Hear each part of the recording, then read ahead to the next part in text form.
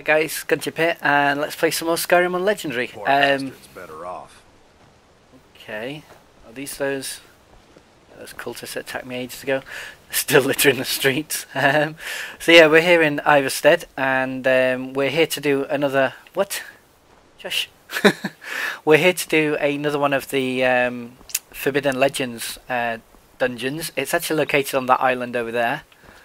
So uh, let's get over there and hopefully get it done this episode if we can.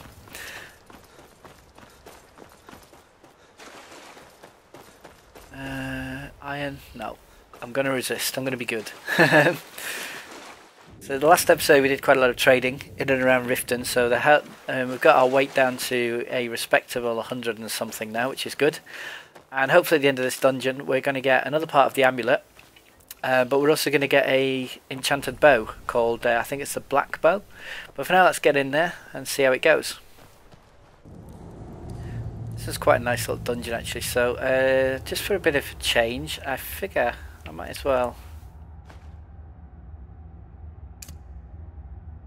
Yeah. So we're going to deal with some skeevers first of all.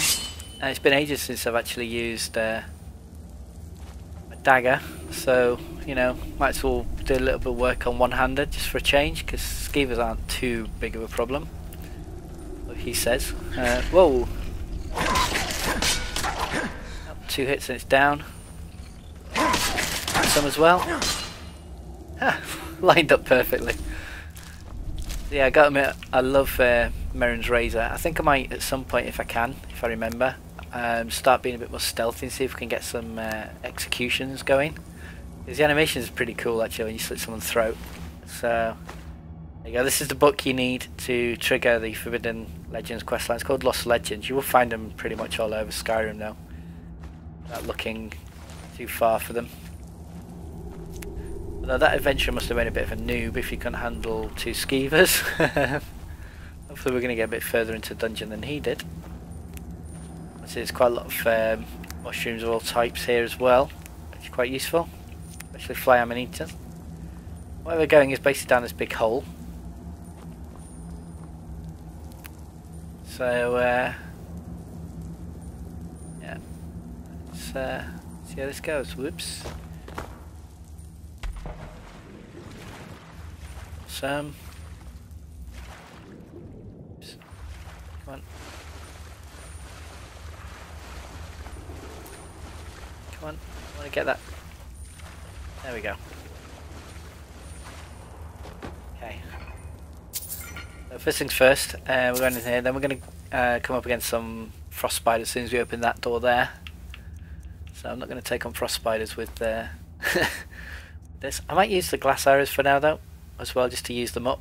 And then we'll go back to the ebony ones. And uh, just I'm just checking just to make sure everything's in order. Uh, unrelenting force, that's good.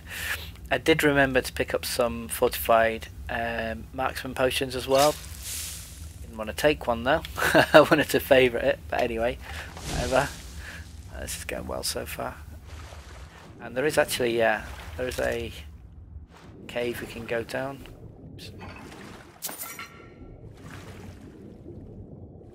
Take that. Really want this great sword. What have we got? Um, take it. That's why water breathing, just in case. But we should be okay. Phew, just about. Uh, is there anything else down under here? I can't remember. What was that? Like a trap. Okay, let's do this. Hello, spider. Didn't really have a chance, did they? She's good.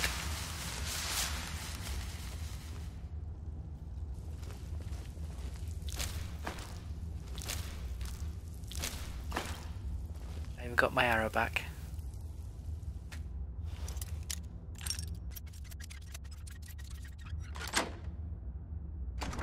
Finally, I thought I'd never get that damn door open. Um, I forgot after that. And it wasn't even worth it. At all. Dumbass. Iron. Another thing I must admit, it would be nice if um, okay, we've got some sort of trap here, which I can't remember which one it is, so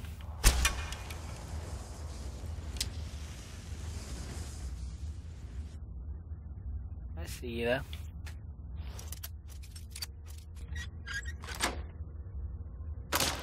Okay, let's see what's in this chest. And not really worth it. No stuff. Okay, it was a uh, poison dart trap, I think.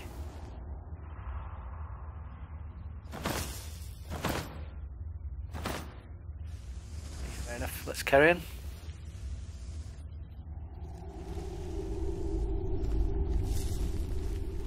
Okay, now this bit is kind of a bit annoying, this uh, puzzle, but I'll show that in a, in a minute. First things first though, we need to clear the place out. See how my glass arrows do against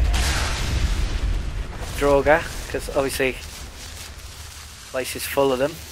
They're all playing possum until you get too close, but it's quite easy to spot them. Again, you just check for armour on the bodies. Like that dude there.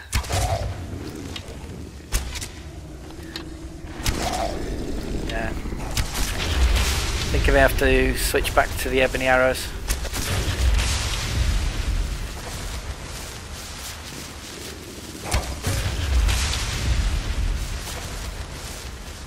We're also home.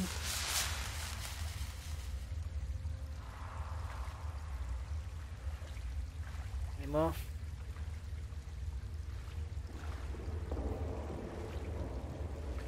Okay, we're clear, I think.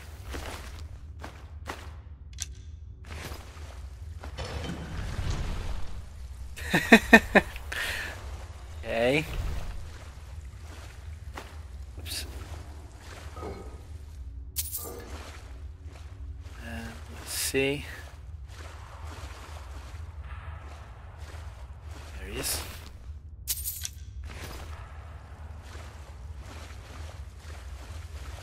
Double check.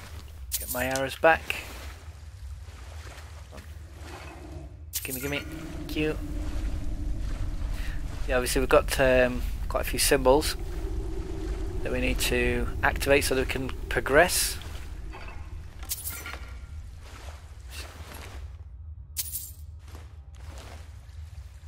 And it's not too bad actually. First time you think about it, all you do is you look down, and oh, the ones on the right, on the left hand side, uh, are the switches on the left hand side that you have to put, and the ones on the right hand side respond to the two pillars on the right hand side of this little area. So, for example, that first one's a bird, so this one down here needs to be a bird. Okay. Next one's a fish, so what we need to do now is just run around until we see this one here. It has to be... There we go. Is it a whale? Forgotten already. Yep, okay. And then here, this time, we need another whale and a snake at the end. So the first one's a whale, which is already done. Oops.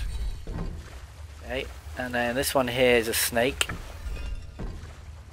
Hopefully, didn't mess it up. Excellent. On we go. It took me quite a while to work that out because I was trying to be a bit too clever for myself, I think. Uh, and in the end I just realised, oh right, okay. Here Draugr, I see Draugr. Can I kill Draugr? No, because Draugr keeps moving. He's got some friends up there as well, yeah.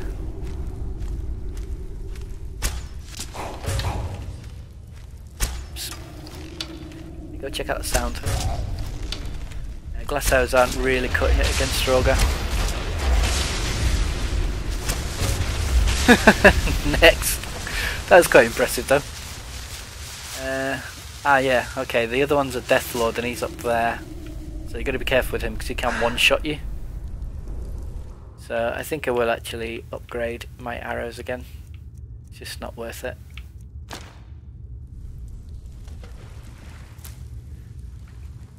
This guy can actually snipe you from... He's like literally on this tower in the middle. And if he hits you, he does quite a lot of damage. Um, don't think he can take you out in one hit, but in about two hits you're dead. On legendary that is. So gonna have to be careful of him. For now though I'm just uh, doing the standard. Grab everything I can. The problem with me when I have um, quite a lot of weight allowance, it's when I just start picking up crap. I'm gonna start controlling myself. I just can't. I keep forgetting. Um, nicely piled up there.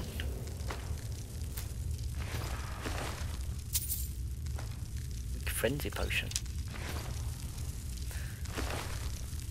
Just to make the frenzy attack is quite fun when you can like get bad guys just start attacking each other for no reason. Uh, um, I've got to be careful, like I say. There he is.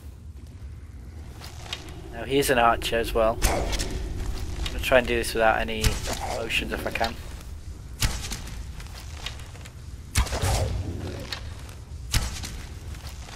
He's stupid enough not to move, which is good. that kind of flops back and forth with each arrow hit One more.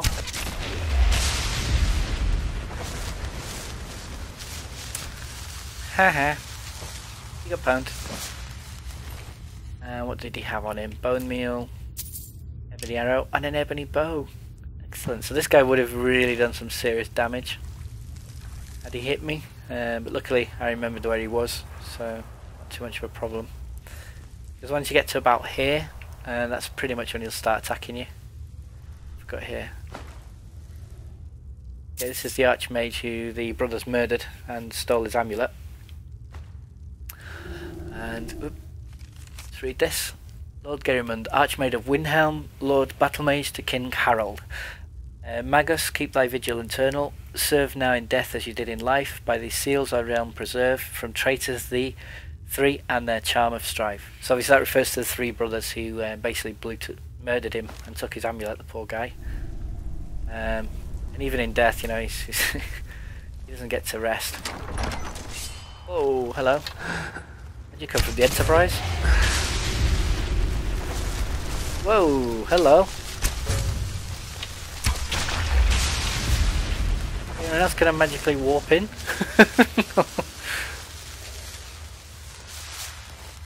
Never seen that before, it just suddenly randomly emerged from nowhere.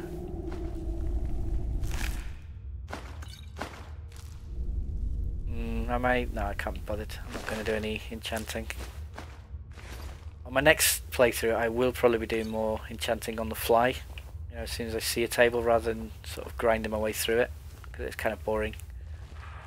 It takes a lot longer that way as well. So, that's where we're going. That's where the boss battle takes place. So we're quite close. Hopefully, we're doing for time about 14 minute mark. Yeah, we should hopefully be able to wrap this up in an episode. I think.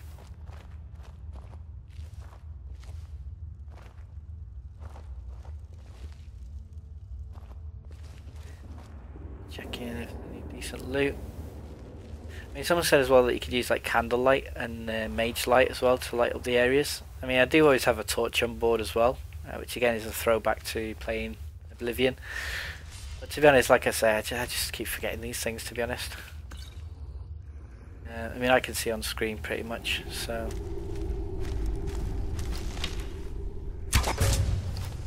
Oh, got paralysed.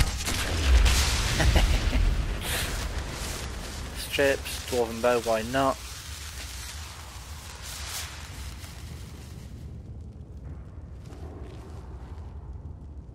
Again, we've got a spike trap. Um, it's quite a nasty one. Wow. Thank you, Mr. Ebony. Because you'd think it's that lever, but that lever will actually set the spike trap off. Uh, what they've done is they've actually hidden lever in one of these corners. I can never remember which one though. It's around here somewhere. It took me forever to find it. There it is. They're quite sneaky really. Hiding away the drawbridge. Let's say do that. So, uh, so far so good. And hello. Bye.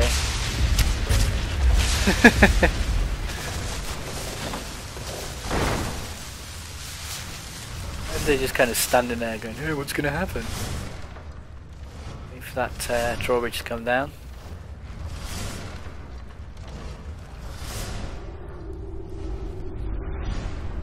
Seems like a pretty pointless area. I noticed it before though. I wonder if there might be some sort of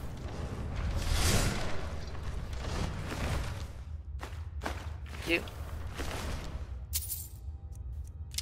Thank you as well. No.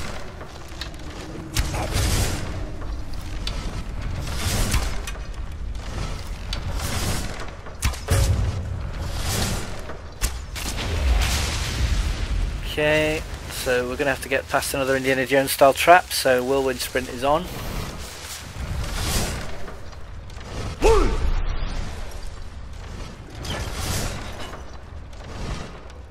Pretty easy. Oh, yeah, we killed this guy, didn't we?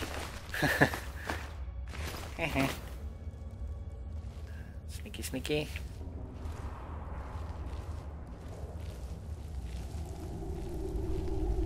we go.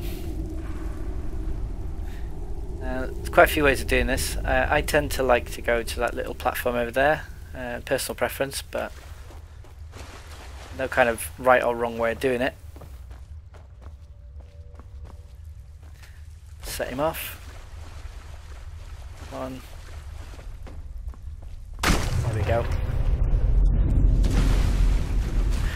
What this guy does is he tries to trick you. Um, he kind of warps in and out of the place. He has two copies of himself. All you need to do is look for the guy with the horns. That's the real one. The other two are fake. Um, but if you just check the helmets. Uh, yeah, that guy there. Back to me. Perfect. It's not too difficult. Yeah, this time round.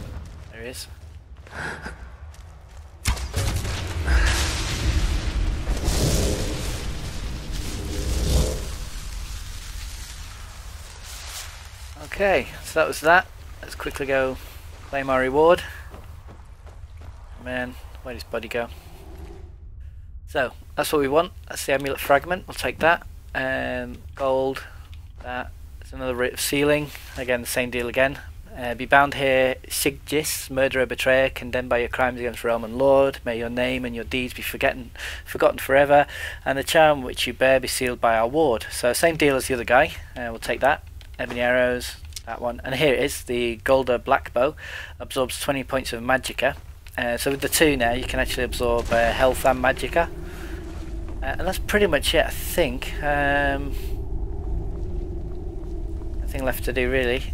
Let's get the heck out of Dodge. Just through here. One of these long winding kind of tables. There's a chest. Let's quickly see what we get. A lot of scrolls, nice. Um, we've got here some glass gauntlets. What's that? Dragon scale helmet, thank you. Very kind. But to be honest, I'm going to try and um, fashion my own, so I'm not going to do much with that. Is that skill book? Yeah, it is. So yeah, not a bad little haul. Let's carry on down here, and we can call it an episode, I think. So hopefully this should lead back to the cave, I think, where we first started. Is this the way? Yeah. Alright guys, uh, I'm going to leave it here. Hope you enjoyed this episode. Like I say, that was the um, the Forbidden Legend questline. We can't really do the last bit uh, in Saarthal just yet because we have to be part of the Mages Guild to do it. Uh, so coming up on the next episode, we're going to go visit our good friends in the Dark Brotherhood and see what they have in store for us. For now though guys, as always, thanks for watching, take care, and peace.